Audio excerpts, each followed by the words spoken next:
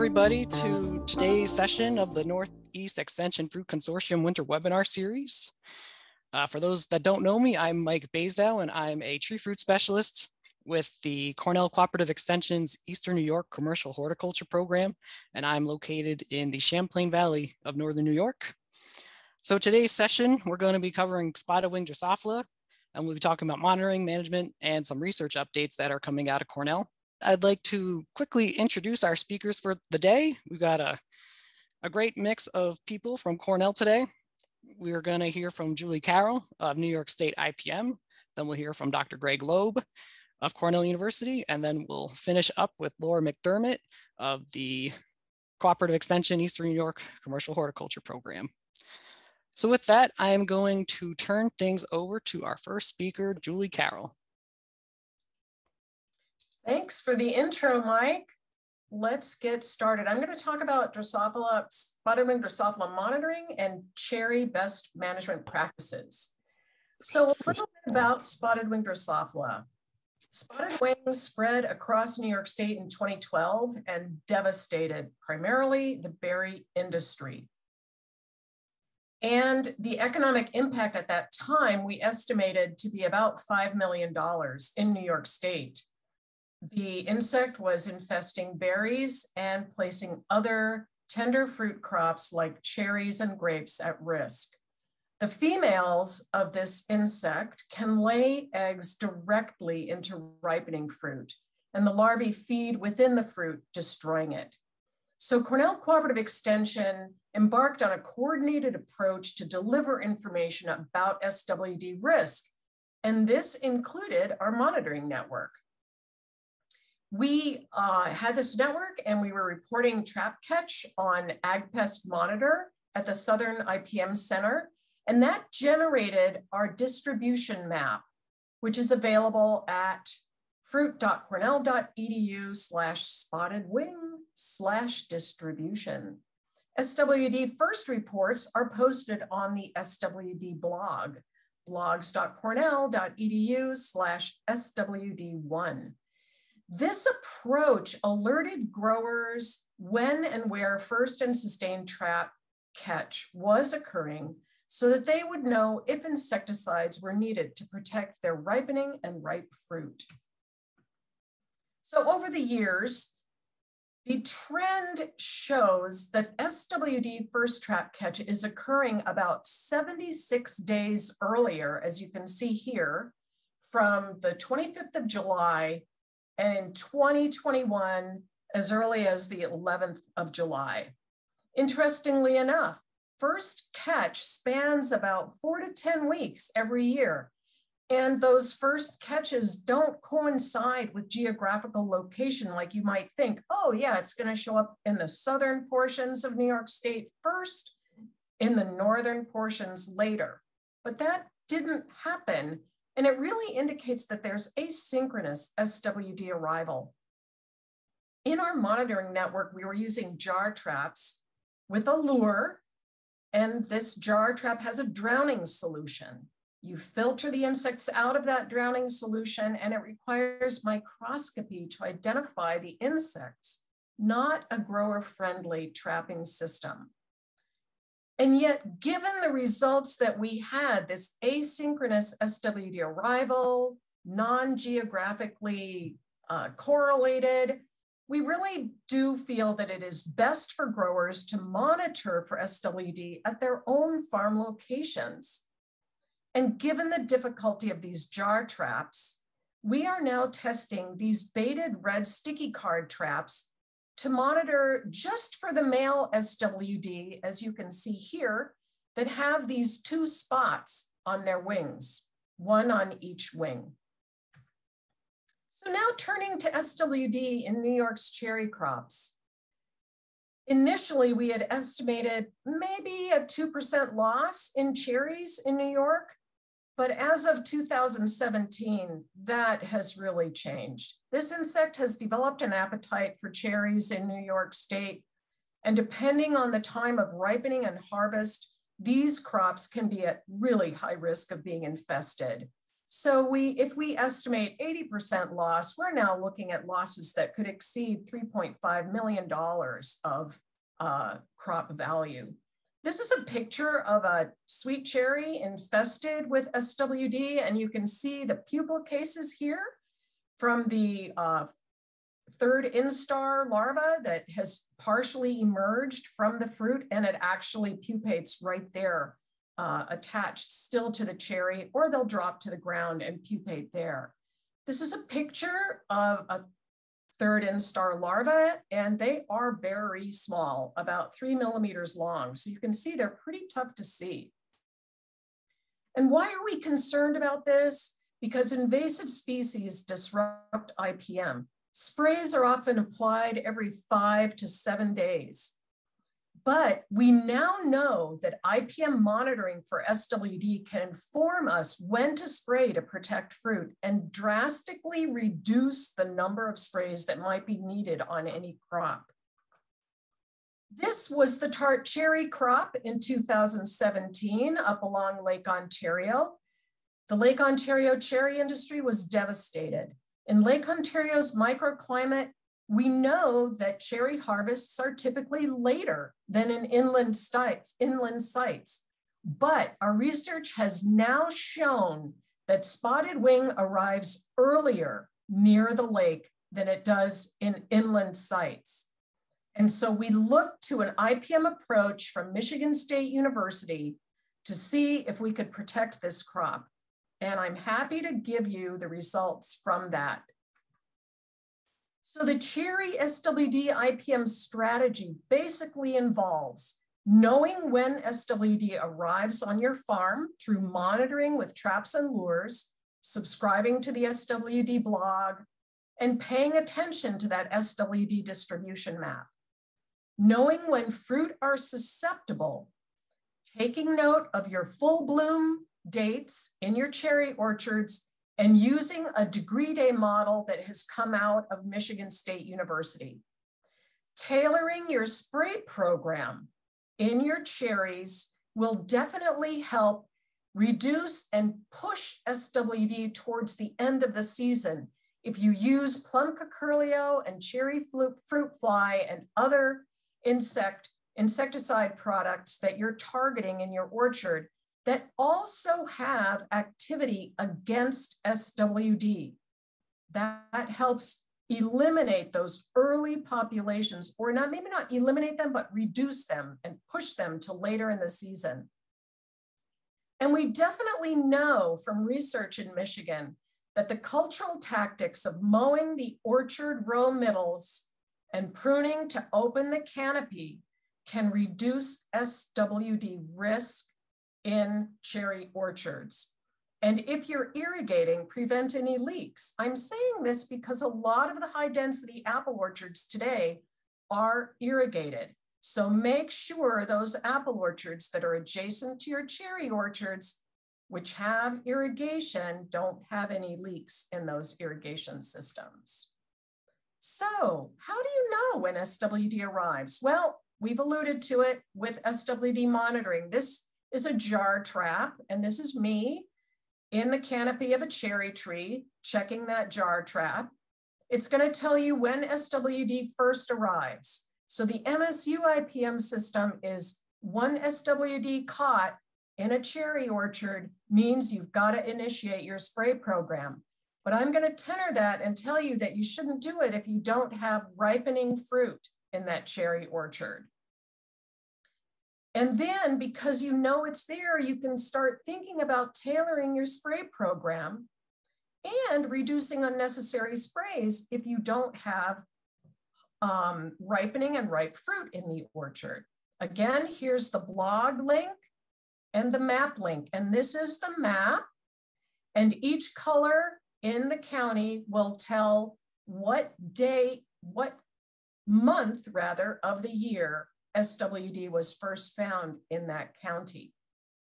But what we're starting to look into is whether or not red sticky card traps can be used to monitor your own orchards. And we've been working with that this year, and it looks really promising. These also have to be baited with lures that attract SWD in. So how do you know when your cherries are susceptible? This is where this degree day model comes in that MSU has been working on. It works predominantly with tart cherries, but they have also looked at the data from sweet cherry and they have found that it works for sweet cherry as well. It uses base four degrees centigrade Baskerville-Emin formula. That's a sine wave formula for calculating degree days. So this basically is telling you what you have to do to run this model. You can do it with NEWA and the degree day calculator.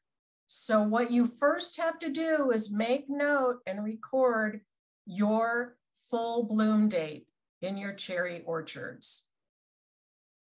Then you go to the degree day calculator page from NEWA, click on weather tools and select degree day calculator. It'll take you to this page, the degree day calculator page. First, you're gonna select the weather station nearest you, then the start date, which is that full bloom date. So make sure you make note of that.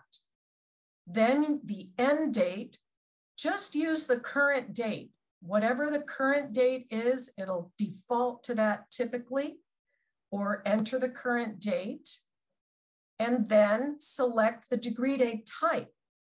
What you want is the base four degrees C BE.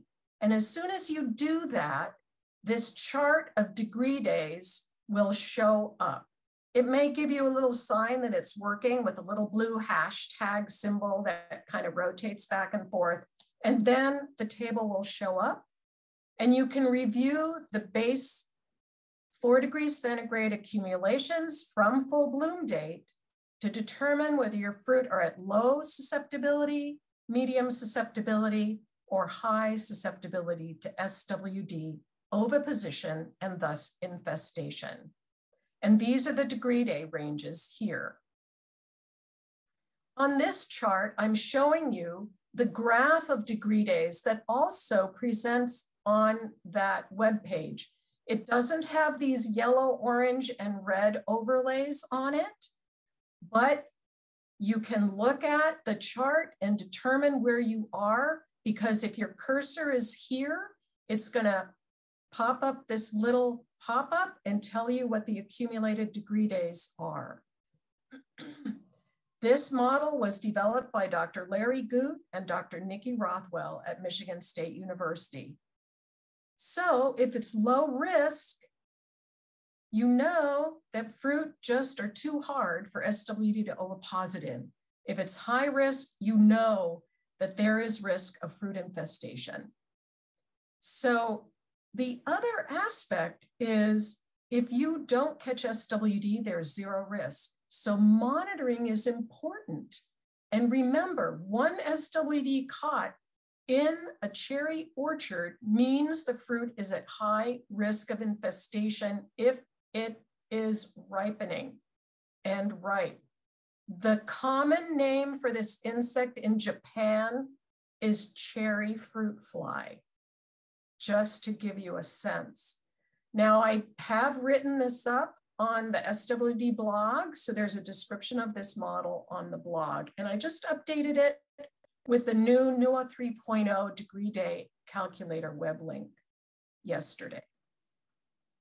So how do you tailor your cherry spray program? Well, you can consult the SWD insecticide quick guide that we have on the SWD management page, which is at fruit.cornell.edu spotted wing. And you can scroll down that page and find the management page from there. Excuse me. Now, before SWD arrives or builds up, choose insecticides for plum curculio, cherry fruit fly, etc., that have activity against SWD. Always rotate your active ingredients, the IRAC groups, for insecticide resistance management. Entrust and Mustang Max resistance are showing up in California in SWD. This insect arrived in California four years earlier than it arrived here in the East. Always read and follow the pesticide label recommendations, which will have the IRAC groups and will help you with that rotation. After SWD arrives and builds up, don't stretch your spray intervals past seven days, seven days max. If it rains, reapply the insecticide according to the label. Achieve thorough coverage and plan insecticide use so that you have materials saved for later in the season that have lower pre-harvest intervals that you can use as you approach harvest. So here's the cherry quick guide. This is an old version of it that didn't have Baythroid on it, but you can see the product lists here. Here, what I've done is I've looked at the guidelines for Plum curculio, and I've circled those materials that you can see have plum curculio in common with SWD. And the same for Rhagoletis fruit flies, cherry fruit fly, black cherry fruit fly, and European cherry fruit fly. You can see even more materials have activity against both Rhagoletis and, uh, and SWD. They're both flies, they're both in the Diptera order. Take home messages, know when SWD arrives with monitoring. Red sticky cards may be the up and coming technology that you'll be able to use on your farm. Then you can protect your fruit with better timed insecticide sprays. But before protecting that fruit, make sure it's actually susceptible to SWD.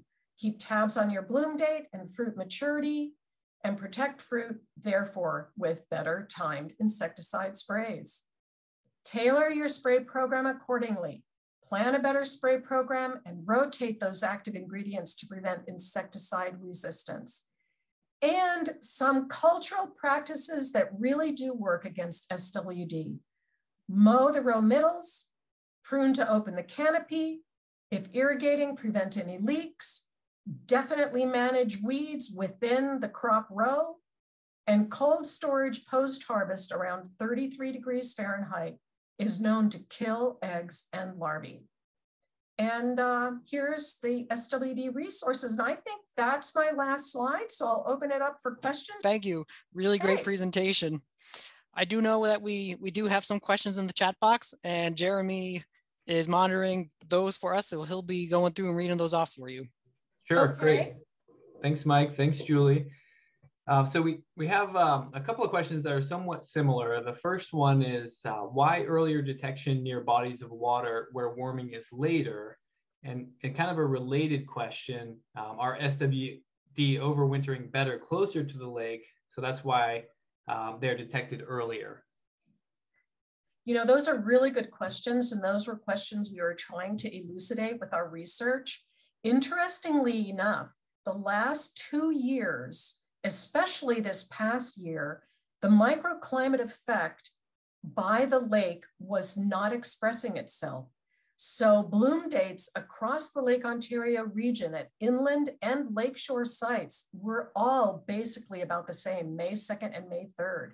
And SWD trap catches also were about the same time period.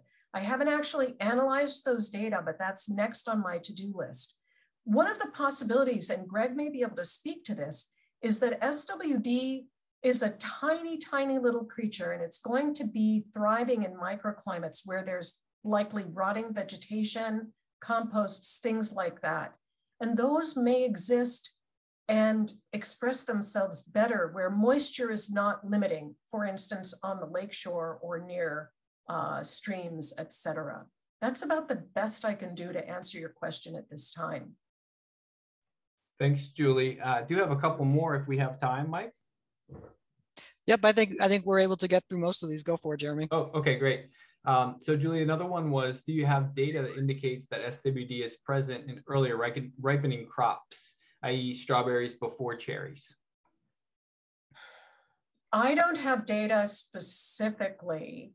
Um, I think I probably would point to data from California and Oregon, Washington, where, but it's a totally different climate there. It's more of a Mediterranean climate.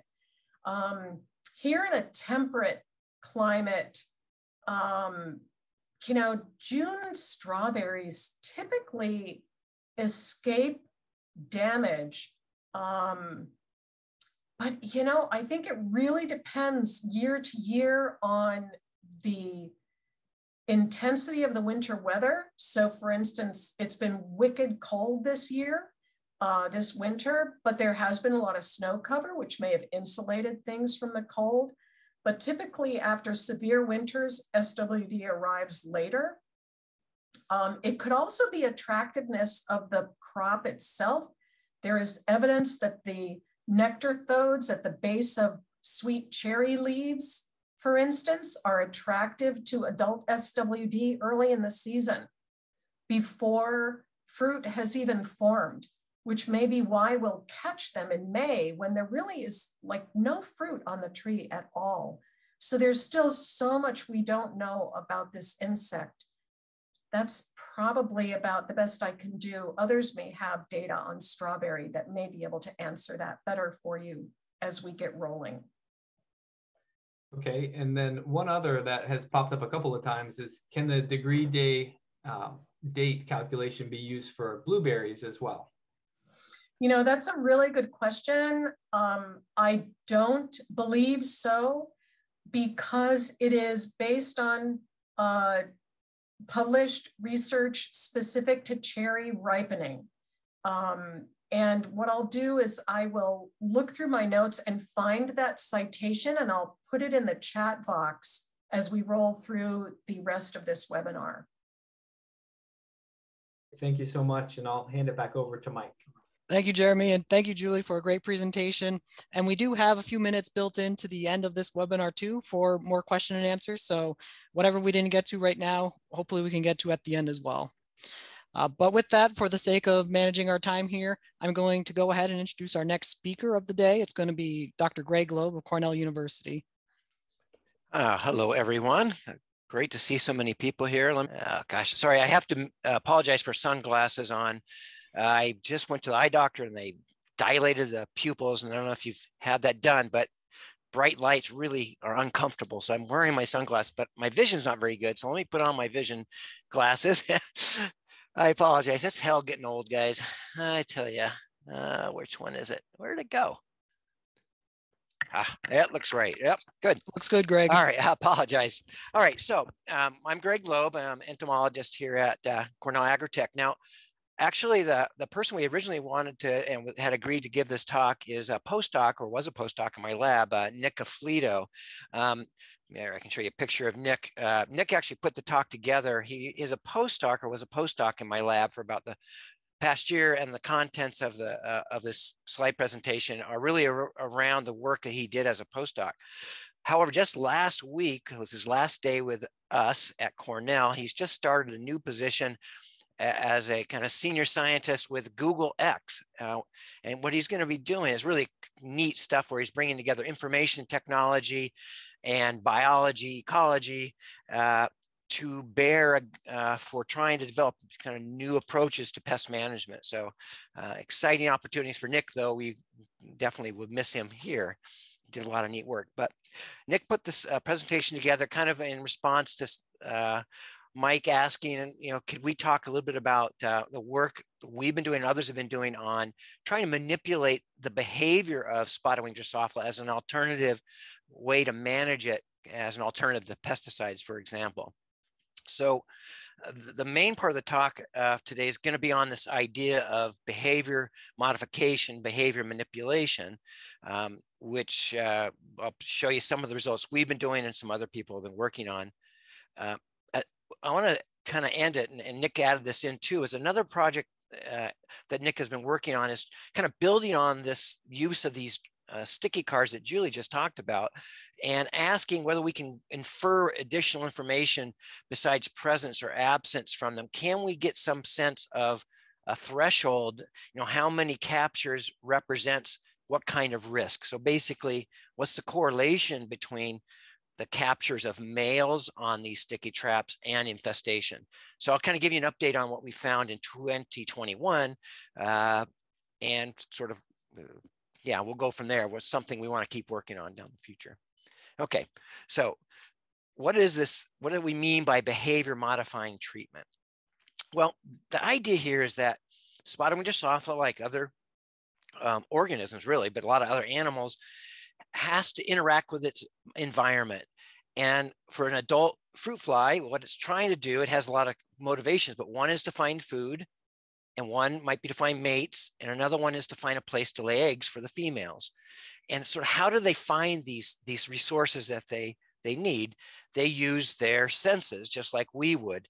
For insects, the number of, uh, uh of senses that they might use for these, for these needs involves primarily visual and chemical. And for chemical would be gustatory, which involves taste, and also olfaction, which would be you know airborne odors.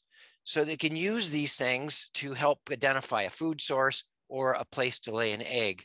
And the idea is that if we can understand what the you know the process is involved in this, can we manipulate it somehow to mess them up? To reduce their ability to find a place to lay an egg or reduce their ability to, um, as a different example, find a mate when we talk about mating disruption. Now, mating disruption is something that if you've you know, worked with Lepidoptera uh, problems, you know that can be quite effective. We don't have that for spotted wing Drosophila, but we are looking at these other aspects of behavior that we might be able to manipulate. Like I said, focused on visual, taste, and smell. The idea is, yes, to be kind of connected and understanding what's going on with the insect. And a lot of attention has been focused on how the, fi- the flies find things. And again, using vision, these big eyes, and they certainly are doing that. They also can taste uh, with their feet typically, and then they can use their antenna to uh, detect odors in the, in the air. And it's probably all these things are involved for both males and females in terms of finding food, we've discovered over time that they're using uh, fermentation based odors often. Uh, and that's why things like apple cider vinegar, acetic acid, um, uh, yeast products, those kinds are attractive. And that's what we often use in our, uh, our, our as lures in our traps, because this is the kind of signals they're looking for uh, to find food sources. Now, additionally, females are looking, especially mated females, are looking to lay eggs. And so in this case, they're probably using some additional uh, cues, uh, odor cues in particular, related to ripening and ripe fruit. And so uh, some additional work is ongoing on trying to identify what those odors are. And in fact, I won't have time to talk about this today, but we're engaged in some research, not only looking at fruit odors, but at the microbes on the fruit, both yeast and bacteria. And we're least hypothesizing that it's a combination of fruit odors, microbe odors, and vision that really is helping the females zero in on a place to lay an egg. And if we can really understand that better, we might be able to build a better lure, a more selective lure for spotted wing Drosophila, um, and perhaps other ways of manipulating them. So I want to talk about uh, some strategies that are being looked at as a way to manipulate behavior and uh, reduce populations of spotted wing Drosophila. And one of these is uh, groups of approaches, that we refer to as attract and kill. So by understanding what these flies are using to, to find resources they want and manipulating that and bringing them into some area where you can also add a killing agent, that can provide some control. I'm going to talk about a couple things. Uh, real briefly, I'll talk about these on the left here, these, um, uh, these spherical balls that are capped with a sugar cap. And these spheres can be used as an attractant and then also delivery of a toxicant. I'll talk about that. I'm going to talk a little bit about a product that was developed in Europe called Combi-protec, which isn't actually an attractant, but what it is is a feeding stimulant. And when added to an insecticide could potentially really increase the efficacy of an insecticide so you don't need to use as much of it or as much water to deliver it. And then the third thing I want to talk about is a, another, a different kind of attract and kill product um, that comes in kind of a gum that you spread out in, in the planting that has a kill agent in, incorporated into it, but also has combinations of attractants and feeding stimulants. So for these, these spheres, these what we refer to as attracticidal spheres, again, the, the idea is based on really from work that was done on apple maggot flies, where they found a red sphere was highly visually attractive to the flies. Then they put a sugar cap on top, and the sugar in the sugar was impregnated in insecticide. And so when it got wet through rain or whatever, the sugar would kind of dissolve and start draw, falling down on the, the sphere. And the flies, if they came to the sphere and were attracted to it and landed on it, once their feet sensed sugar, that almost automatically required them to eat and therefore consume uh, the sugar plus the insecticide. And they found this to be fairly successful for apple maggot fly and also work out of Tracy Leskey's lab uh, in USDA and others has shown that it can be effective against spotted wing. So here's some data out of Tracy's lab that was uh, Kevin Rice actually did this work for a couple different insecticides for some different treatments. So on the uh, y-axis, you have the, the, the number or the measure of fruit infestation. And on the x-axis of these different treatments, control versus the sphere. And you see just the visual cue reduced uh, the, the, infestations for both of these uh, insecticides, spinetoram, which is delegate, or dinotefuran, uh, which is, I think, safari, which is a neonicotinoid. Uh, delegate or spinetoram is a uh, spinosyn. So you see some effect of just the sphere and the insecticide, but the sphere plus insecticide, especially for the delegate, was quite effective, but both were good. And you know, providing some encouraging results with these spheres. Um, so the, the, the, I think that's a, some good news there. The, the not so good news is that up to this point, no commercial company sort of taken this on. So right now, this is not commercially available. Um, and I don't know if or when that's ever going to happen, uh, which is unfortunate because uh, I think it has some potential. But right now, this, this particular approach is not uh, available. Okay, um, let me talk a little bit about the work with on this product called Combi-protec. So this is a this patented product that, so I don't know exactly what the ingredients are, but it, it has several ingredients that are feeding stimulants for Drosophila suzukii and presumably some other, other types of flies.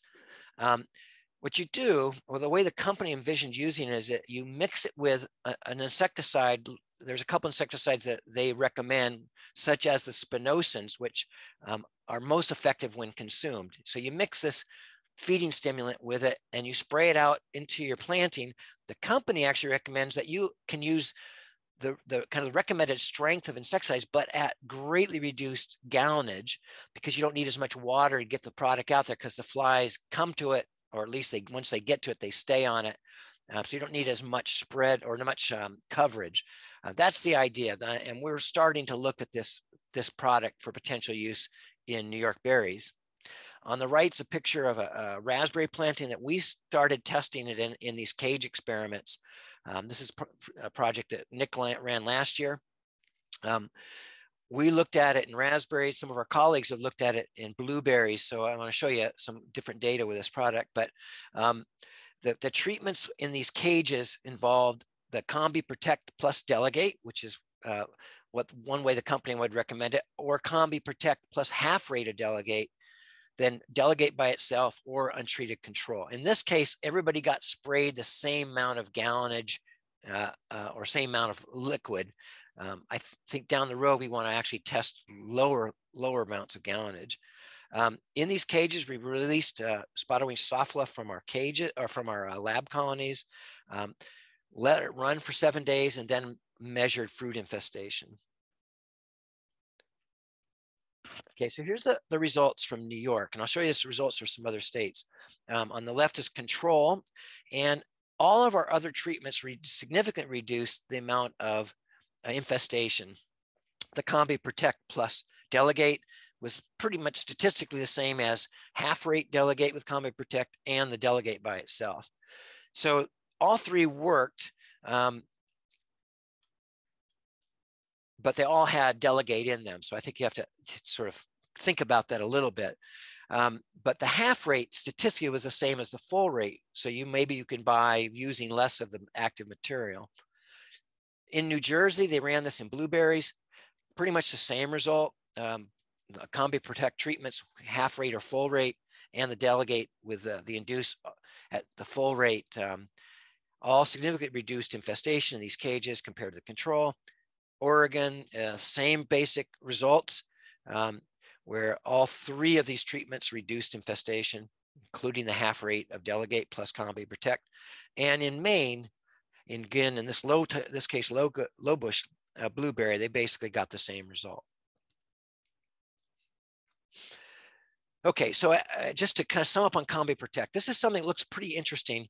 Um, the results I showed you, now you might ask, well, why use Combi-protec if basically it worked the same as the delegate by itself? Well, the half rate of delegate suggests maybe you can get away with using less amount of insecticide. But I think the more interesting approach, which we hope to look at this year, is seeing if we can get similar efficacy with less gallonage so that uh, for larger plantings in particular, you could spray, you know, five or 10 acres much more quickly and uh, using less less water. Um, so that might be quite an advantage in, in, in making your pest control more efficient.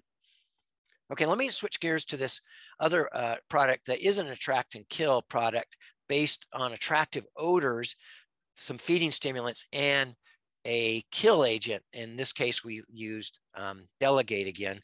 Um, this is a, a, splat product, this waxy material that uh, the company called ISCA has developed.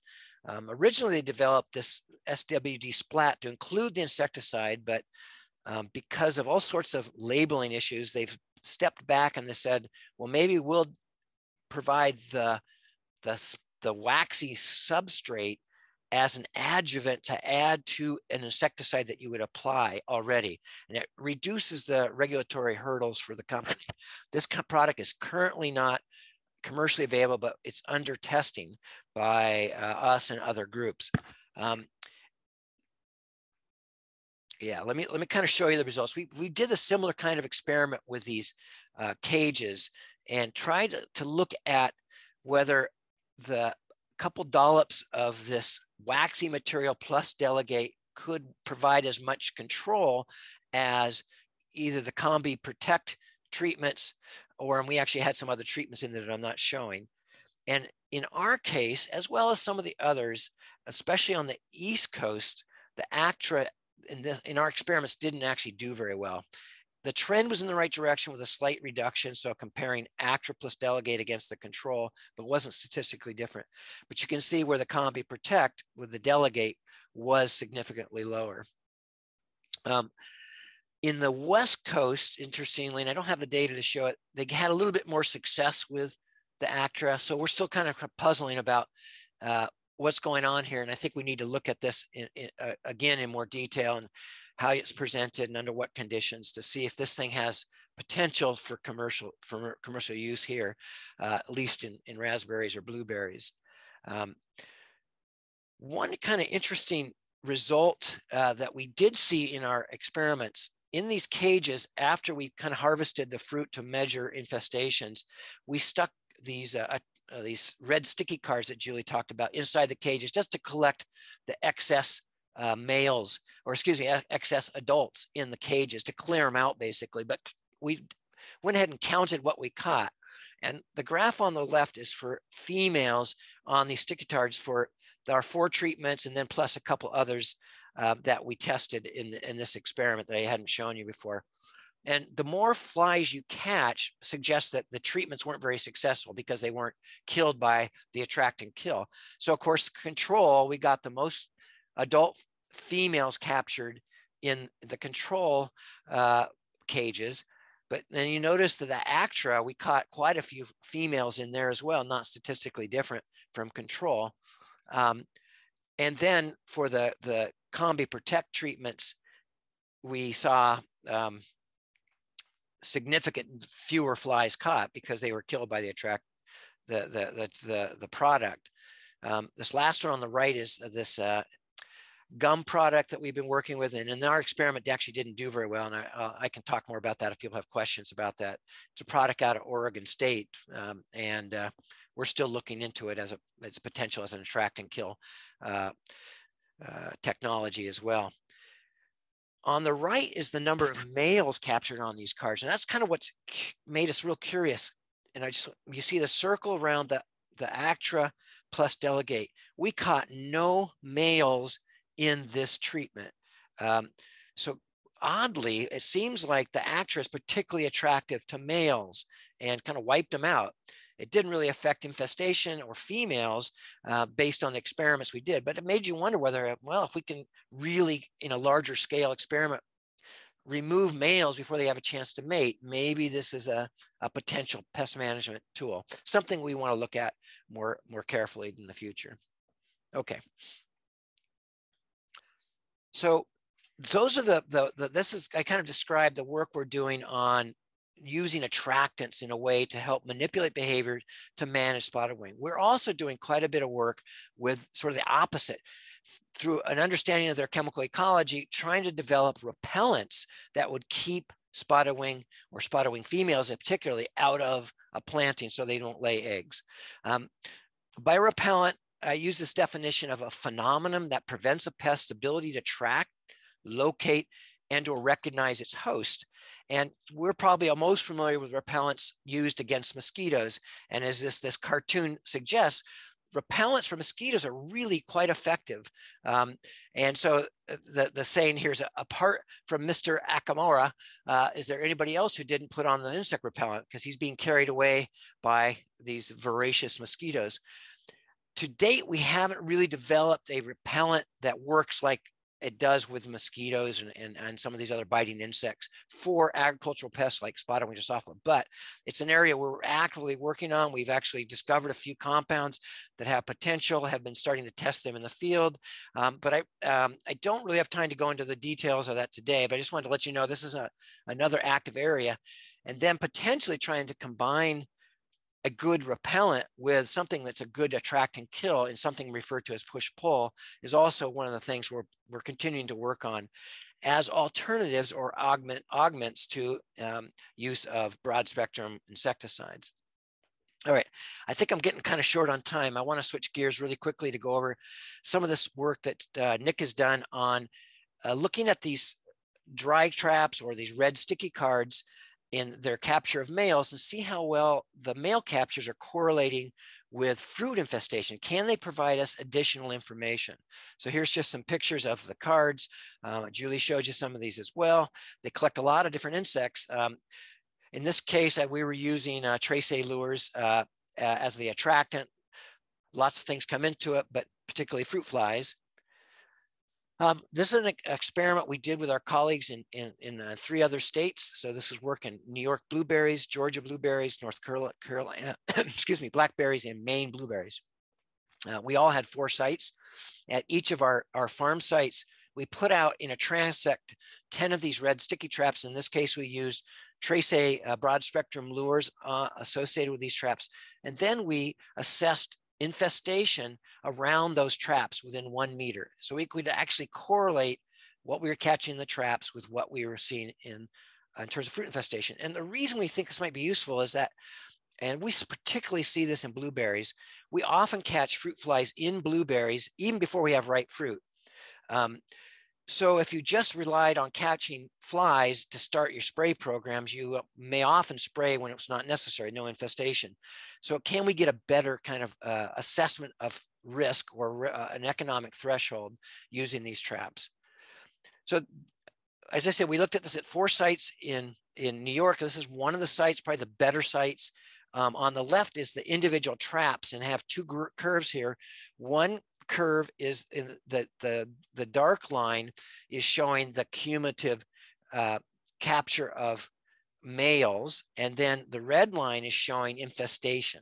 So just kind of give you a feel for what kind of data we're collecting. On the right is kind of a, a pulling of all that together to look at the correlation between what we're catching in each of these traps and in terms of males and what's the fruit infestation. It's a messy data. We need more of it, but you can see there is a strong positive relationship, no surprise here, in capture of males and infesta infestations. So there's some, some potential use here. If you kind of calculate this out, it, what, what Nick has shown, at least from our New York sites, is that when you catch a male, one male in one of these traps, it corresponds to a risk of about one egg in 120 blueberries. So a very low uh, infestation uh, level, so low risk. Um, and as you catch more, you get more of a risk. We need more data to kind of resolve this to see if we can come up with some sort of threshold, but this is kind of the idea. Um, the data from Georgia was not as clean, very weak correlation between trap catch of males and infestation. And the data from North Carolina also was pretty messy. Again, a pretty weak correlation there. Um, so, so far, New York has been the best. We haven't seen the data from Maine yet, so I'm not sure what this is going to look like there. If we you know, pull our results together for all of our sites, um, and look at that relationship between cumulative fruit infestation and male trap catches, we see this large jump up in infestation and infestation risk at above around 80 um, cumulative uh, captures uh, in our traps. So I'm not saying that you, that's don't don't don't think I'm saying, yeah, we can, you can wait till you catch 80 males. That's not what I'm saying here. But what I'm saying is there is a relationship here. We might be able to fine tune this into a place where maybe we have a threshold like they actually have now for low bush blueberries, where they, they say up to five captures in a trap is when you would kind of reach some sort of economic threshold. We don't have that right now for New York blueberries or any other of our small fruit crops, but this is where the research is heading. We do need more data, but that's kind of what our goals are. All right, let me sum up here. Um, for this part, the, the, the male spotted wing Drosophila catches were most co closely correlated with infestation in our New York high bush blueberries and not as good for these other states. Um, there is a relationship that, that you can boil down to for one male caught in a trap, risk of an infestation is one egg per 120 uh, berries. Um, as I said, the data from the other states wasn't as good. Um, and we want to keep looking at this to see if we can come up with a, a more useful tool for these sticky cards. And I have to agree with Julie that if growers are going to be using monitoring, I think it's wise to do so, these are going to be much easier to use yeah, for making decisions for growers because you can look for males. I have to say that the male the cards have not worked as well in some other systems. I saw a note from Dale-Ila that in her high tunnel situation with blueberries, they didn't catch a lot. And we've also had similar issues uh, in raspberries. So I think that maybe the, the the evidence is still lacking for some of these other crops. I'm more encouraged for blueberries, and I think we're gonna have to wait on some of these other systems uh, to see how helpful this information is. But um, clearly it's something that I think if we had it and we could demonstrate it was useful, growers would use it or, and would benefit from using it. All right, I wanted to thank the various people that worked on this project from our other states and also the uh, Danielle from uh, the company Trécé that actually provided some of our, our traps and lures for so, so these experiments. Um, okay, that's kind of it for me. Thanks, Greg. Great presentation. Uh, we are a little uh, crunched for time. So if it's all right with you, Greg, if you can stick around for after Laura's talk, uh, we can get all of the questions in the chat box answered then. Is that okay with you? Perfect. Okay, great. Thank you. And now we'll introduce our last speaker of the day, Laura McDermott. Laura, the floor is yours.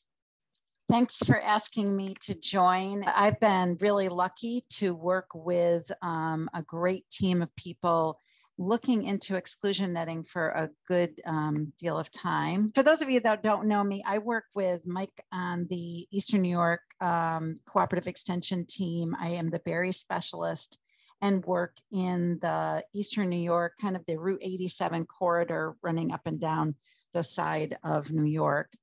And um, when spotted wing was found in New York State. We actually found it in Columbia County. Uh, that was the first place where we positively identified it, unfortunately. And it seems like a lifetime ago, but we've made great progress, even though at times it feels like we're we're just struggling against this. But I, I have to say that I am so impressed with growers' ability to adapt, to really um, put their shoulder to this problem and for the most part, do an excellent job of controlling it. But so today we're going to talk, I'm going to talk uh, just briefly about exclusion netting and we'll talk about what is exclusion netting um, in case you haven't heard of this before and what are some of the advantages that growers can experience using the netting, what are the challenges and a little uh, kind of rough comparison of costs. I'm going to use bird netting um, to kind of help us uh, kind of get a sense of that and then we'll cover resources. So basically exclusion netting is what we, we categorize this as a level two IPM approach. It's a mechanical or systems-based approach to helping control pests, um, very similar to using uh, mulch uh, as a way to control weeds. It, it, it's kind of that exclusion type situation.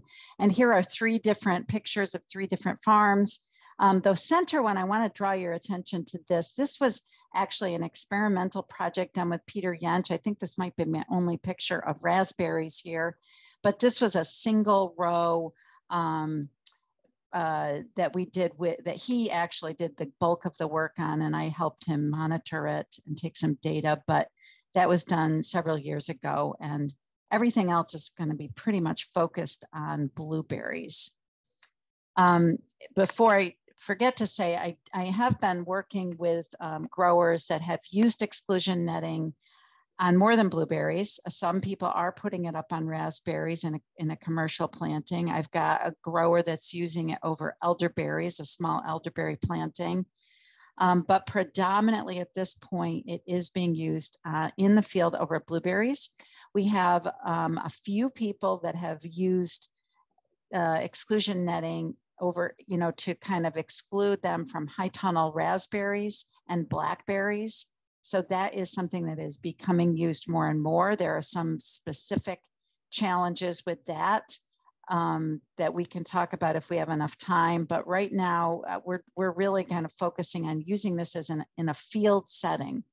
So exclusion netting is an 80 gram, it, which means it weighs 80 grams per square meter. Um, the particular uh, product that I've been using uh, or that I've been working with with Dale-Ila and Greg and Chris Callahan on some of these projects is called ExcludeNet. It's manufactured by Tek-Knit Industries, which is a Canadian company. There are rolls that are um, differing sizes, but the 13 foot is usually the one we are 13 foot wide is usually what people are using. And those are two um, you can sew two of those sheets uh, rolls together so that you can have a 26 foot wide piece.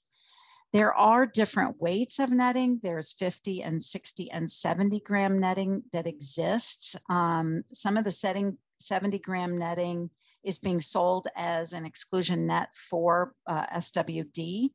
In, in lab and some field work that has been done on the netting, the 50 and 60 gram um, weights did not uh, effectively eliminate spotted wing both in lab and field work. So 70 gram, I, I'm not sure I've seen work that has definitively said whether or not it can exclude the SWD, but we know that 80 gram exclude net does work. Um, some of the advantages of exclusion netting obviously are to exclude insects, but I, I would really be falling down on my job as an extension person if I didn't mention that this will also help growers avoid problems with birds. It'll exclude birds, hail. It can dissipate heavy rain, um, moderate the effects of that, which has become an increasing problem. It can also help um, control strong winds. I, I mean, winds are definitely going to be something that you're going to have to engineer around if you are in a particularly windy place, but it is possible. And exclusion netting can help you with mammal, um, mammal control, uh, especially deer and maybe even some two-footed mammals if that is an issue. So this is just a very quick uh, kind of retrospective of some of the things that we've done over the past uh, almost 15 years. Um, we started with a farm, Hayberry Farm, who's in Hoosick Falls, New York. They were working, looking at 80 gram netting just over a row. uh, with positive results. Um, then 2014, Dale-Ila was able to get some grant funding to look at the 80 gram versus 60 gram uh, versus bird netting. And we have great results for the 80 gram uh, in those, those studies. Um, 2015, some more of the pesticide and bird netting, looking at that 80 gram uh, material. And then we looked at different things with attract and kill spheres. Um, the Poughkeepsie Farm Project, which is the 2018 study that Peter Jentzsch did, was also looking at attract and kill spheres, and, and Greg had shown some of those. And then finally, we are in kind of the latter stages of this research, now focusing on trying to help growers understand how to put that support structure up. Because unlike a lot of other um, products that are coming to netting things, we there is no kind of guidance for people who have never constructed this type of thing by themselves. So Chris Callahan has been really, really uh, helpful on that. And I'll show you some resources that he's developed um, as we get a little bit further in the um, presentation. So this again is a summary of the work that was done. These are um, data that Greg's lab did the, you know, I was really just the boots on the ground for data collection. Uh, Dale-Ila kept track of the yields and um, Greg's lab, the Loeb lab, uh, worked out how much what the percent infestation was by some um, fairly intensive fruit collections that we did. But basically, um, throughout the entire time, we were able to keep uh, infestation with no sprays uh, to extremely low levels using this um, exclusion netting. And our and I do want to point out that the yields in this um, acreage, it's about a half an acre or so, are extremely high. We, we uh, estimate that New York production is on the lower end for the, for the country. We, we estimate somewhere between six and 10 at the very upper end for our production. And that is not always um, we're not always sure if that's exactly right, but we're thinking it's probably a little bit lower, near the 6,000 pounds per acre. Whereas we are seeing in other states that that um, is much higher. I think that in Oregon, it's uh, probably close to 10,000 pounds per acre. And even uh, less traditional areas of the country are getting slightly higher yields, perhaps because they are managing them more intensively with chemicals and they are a wholesale production so that the chemical usage is not questioned so much by their direct market customers as we are seeing in the Northeast. So let's just keep it. So the biggest advantage I really think that we can offer, the exclusion netting can offer, um, there are several, but this, this is the biggest advantage that we can pretty much say that if for for um, spotted wing Drosophila and if you can manage to keep um, some of the other pest problems that we see with blueberries cropping up, if you can keep them out, which that is a little bit easier from a cultural perspective, but spotted wing has been the real um, kind of fly in the in the jelly, so to speak. But if you can manage that with exclusion netting, we can have no spray blueberries, and that would be really wonderful to be able to offer uh, our customers. So some of the other advantages um, would it would include preventing hail damage. And the um, first of all, when you think about what hail does, it, it, obviously can cause a lot of problems. And here's a couple of pictures of problems, depending upon the stage um, that the hail comes, the growth stage. But hail also has some long-term consequences in that it can open up tissue on plants and allow some more infection from um, other diseases. So trying to prevent hail damage is, is a huge deal for blueberry producers.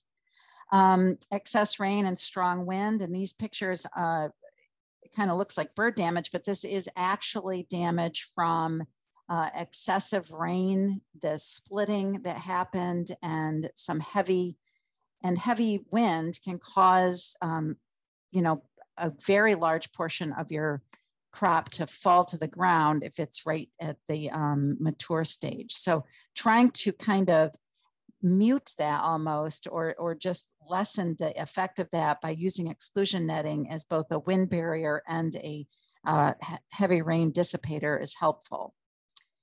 So the biggest biggest aid, I think, truthfully, can probably come for bird control, uh, along with spotted wing control. And so, some of the work that's done on, on bird control in New York State uh, research estimates that um, blueberry yield loss is somewhere between 50 a little bit over 50%, both at a low management end and a high management end. So that's using all kinds of auditory, visual, lethal, chemical repellents, everything except exclusion netting. And we still ended up getting a fairly, a very significant uh, yield loss because of birds. And this is something that growers seem somewhat resistant to acknowledging. I, I, think that unless they see whole flocks of birds, that they're not often looking at the damage in the field as being unmarketable. And so the pictures here show that, that you can't market split fruit or infested fruit or certainly dropped fruit.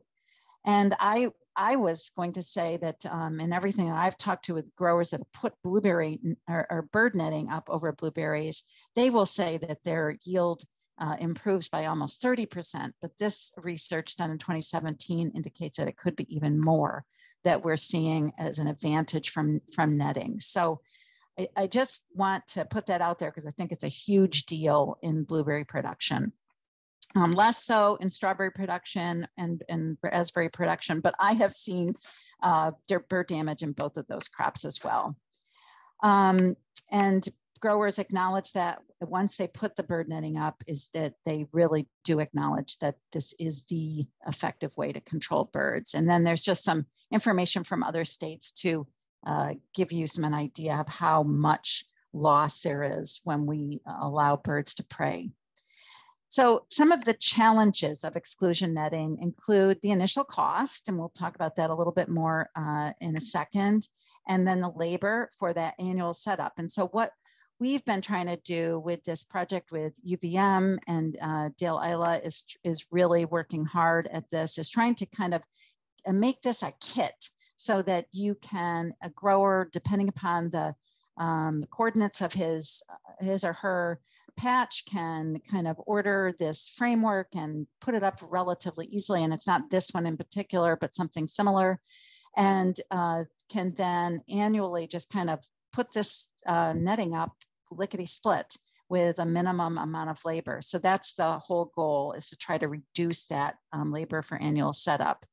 So is there a possible challenge for pickers? Um, I think that there are, it, the little bit of data that has been um, garnered, actual data, Peter Jentsch actually did some kind of anecdotal work with uh, pickers in that single row system, and Lori Nickerson at Hayberry Farm also did. You know, if you're not covering a larger expanse, it is very claustrophobic. So, single row netting is really probably not going to be very fun for either your labor uh, force or for you pick customers. So I think that that's another reason to try to help people um, get this larger structure set up. And then um, Otherwise, honestly, my experience in it, and this again is anecdotal, but I know that some of the U-pick customers at the Berry Patch have also said that it's quite enjoyable. And uh, there is a little bit of shading that goes on. So even on a hot day, even though maybe the breeze is dissipated somewhat, it's actually a little cooler inside that, um, that uh, exclusion net. And so, possible disease issues, this might be an issue. I know that this particular farm right here, it's Island Blueberries up in Grand Isle, Vermont.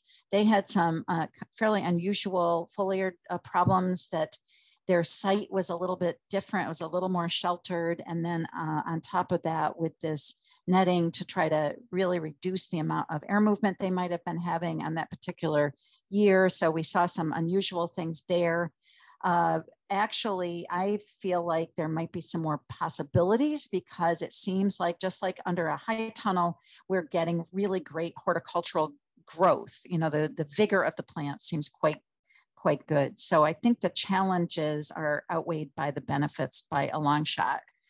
Um, so here's some of the information, and, and these numbers are probably dated. Um, and I, you know, tried to do a little looking around, but honestly, I think that suppliers are being a little cagey with uh, the costs of things still because inflation and trucking and everything is changing so quickly that I just want to show you this. But uh, if you're going to price something out, you really have to do your homework and try to get uh, this information, um, you know, soon uh, don't don't try to price it out eight months before and then expect it to be the same because I think prices are changing rapidly.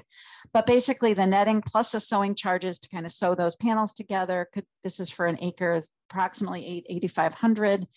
Uh, considering that the lifespan span could be seven to 12 years or more, will will take an eight year conservatively, and it's about a little over a thousand dollars per acre. The structure cost is going to range uh, considerably depending upon what you decide to use.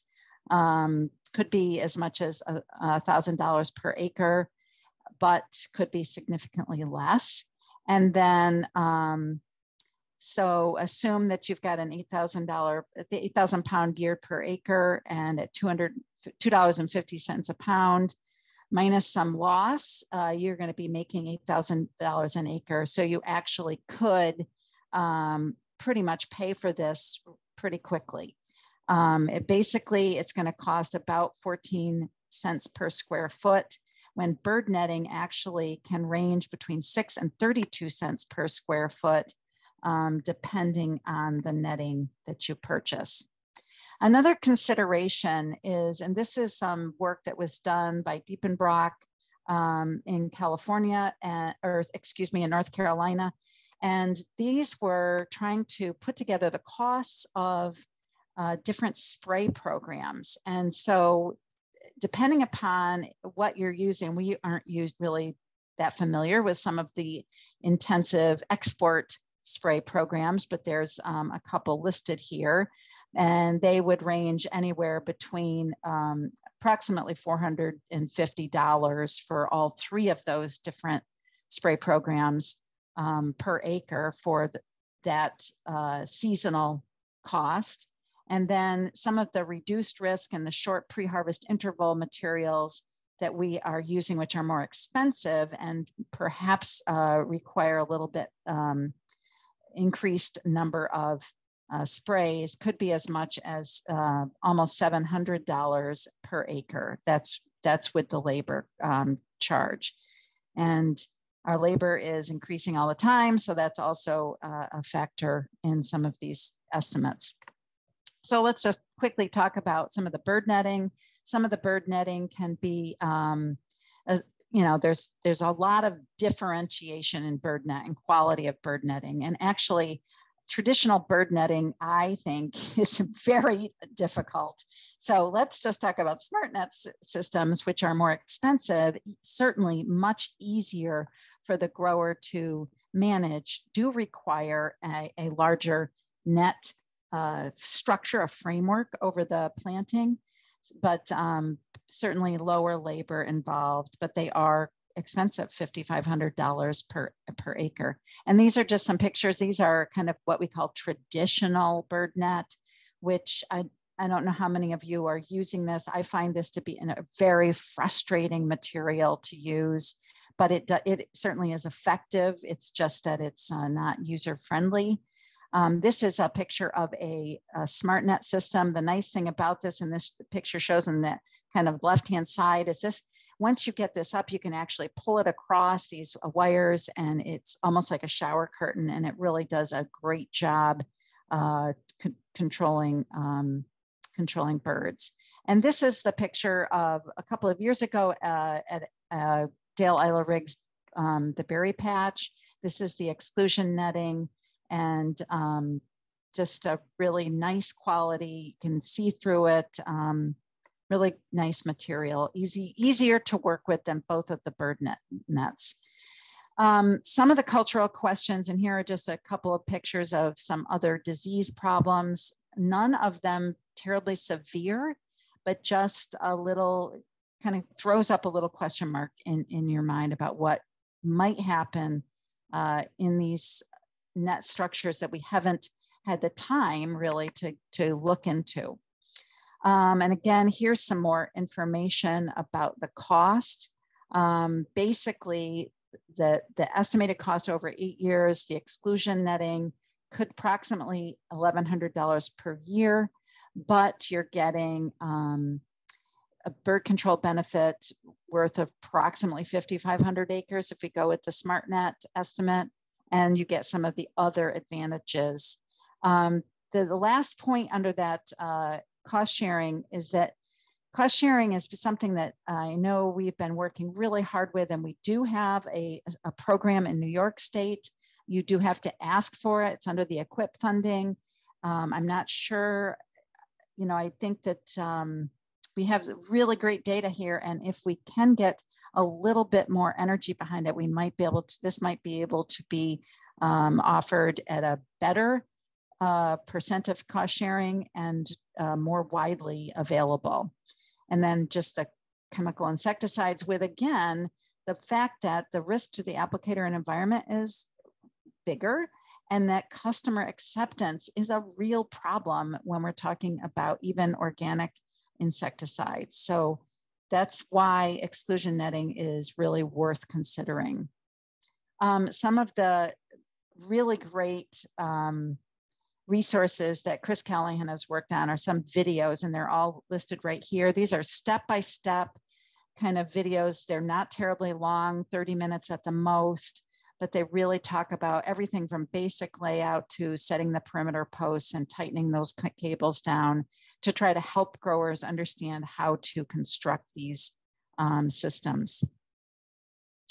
And I just want to thank uh, Dale-Ila Riggs. I, I really um, appreciate her tenacity. She has been really the, the force behind this work. And I think that we are really making headway now. Um, we've I've had lots and lots of calls about this. So I am hopeful that people will adopt it and feel really comfortable about using it.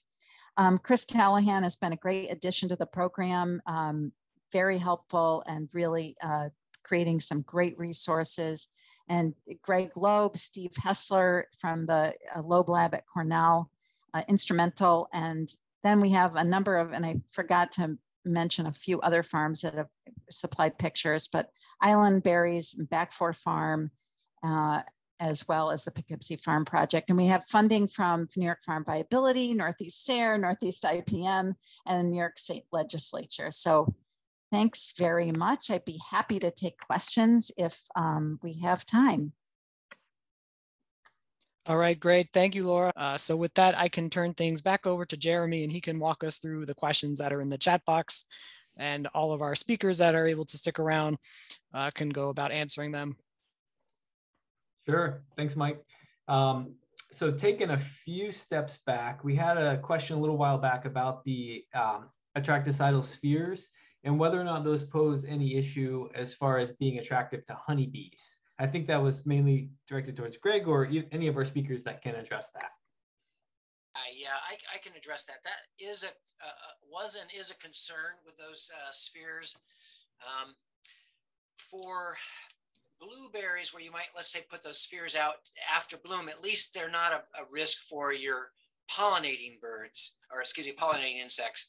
Um, but in raspberries where we actually tested them, that was a concern. So we actually put little uh, mesh cages around it that were uh, enough to screen out the, the, pollinators, most of the pollinators anyhow. Um, but that was some concern. We probably need more evidence of that or more research on what the impact is, but it's potentially a, a problem.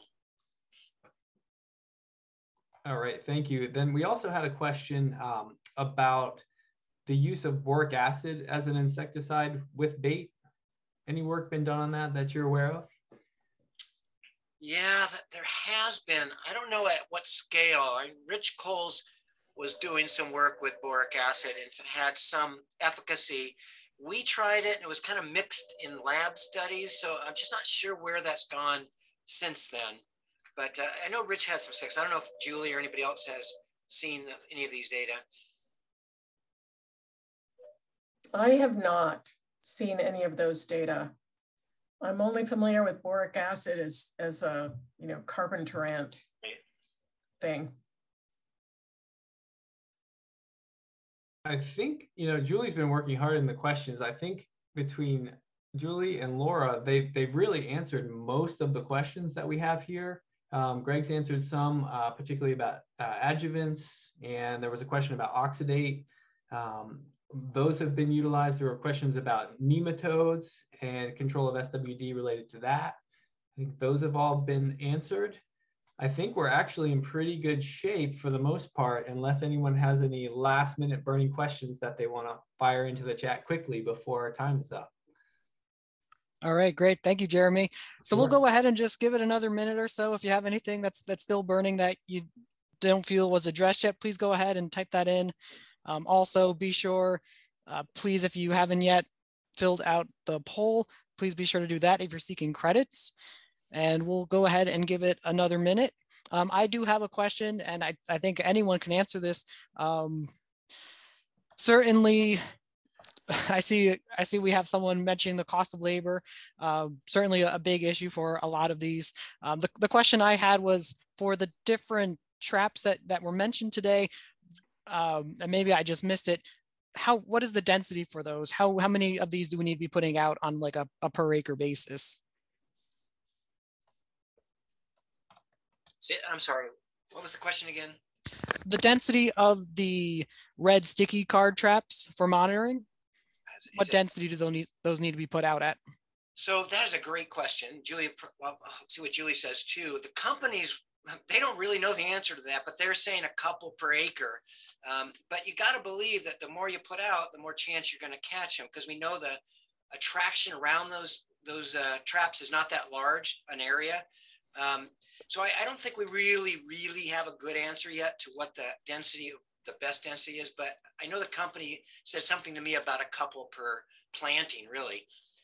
Uh, so, yeah, yeah I agree with Greg. I don't know that there's hard and fast data on the red sticky cards. I know research that's been done, I believe in Michigan blueberries possibly somewhere else where they were looking at the plume of the lure yeah. from the you know the Scentry lures and correct me if i'm wrong greg i think that was only something like a 60 foot diameter not, not even that long okay not even so, more so like you can eight ten feet okay so it's not really attracting flies in from a very large area and, and when I think like a grower, I think, you know what? I'm not going to monitor 20 sticky traps in my blueberry field. It's just not doable, right? The cost of labor came up in the chat. So what I typically will, will suggest is for the traps to be placed in the shaded moisture edge of the crop because we know SWD likes humidity, they like moisture, they like shade. And so what you're doing is you're, you're, um, you know, you're setting things up for your benefit to find it as early as you possibly can. Um, that's what I usually will recommend. And then based on the research that's been done by so many entomologists, uh, across the nation, we do know that the edge of the crop typically will catch SWD sooner than the interior of the crop. And that edge of the crop, if it's near a wooded edge, again, or any area that's moist, um, I'll typically suggest two traps, just, you know, also because one might, you know, the lures have been decimated by raccoons or I'm really not sure what animals, but um, we have had that happen. And so you don't want to have your trap get uh, destroyed and then have no data that week. So that's another consideration. I do see someone in the chat box did mention they're using traps with an attractant based on spacing five meters to start and increase to two meters along the outside. So uh, just what someone else is doing. So I don't Mike, see any other questions coming in. We, so we with that, just, in, oh, go ahead. Sorry, Mike. We might just mention there was a comment there just stressing that uh, the cost of labor was a big part of um, the consideration when managing SWD exclusion netting. And then also a, a good reminder that you know there's still space required within that netting structure to be able to get in there and control for um, other disease organisms or other pests that may get in there. So making sure that you um, consider that when you're building the system and that you have room to get your equipment in there and do the work that you need to do. Can I just say, uh, uh, going along with Jeremy's um, comment about that, it's really important to leave that room. But having said that, most of our bloom sprays are going to be put on before the net goes up. So I think growers just have to really consider when they anticipate making most of their tractor spraying. But that said, again, we don't know exactly what's going to happen under that net for, you know, if you have a 20 year old situation where you've got netting on it the whole time. So leaving space is always a really good idea. well, thank you all again and have a great afternoon. Thanks. Thank you, Mike. Thank you all.